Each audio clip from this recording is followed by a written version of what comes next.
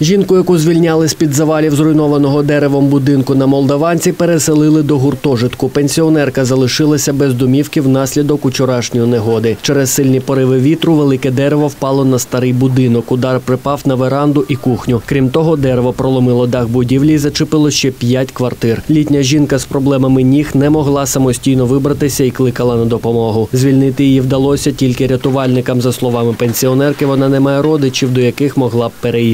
Наразі вирішується питання ремонту її будинку.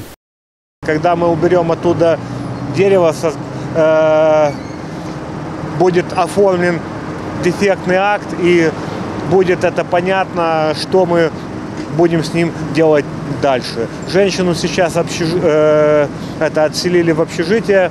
э, После составления дефектного акта и уже это понимание, какой должен быть это ремонт, мы будем знать, что делать дальше. Это либо маневренный фонд, это отселение женщины до полного ремонта. Ну,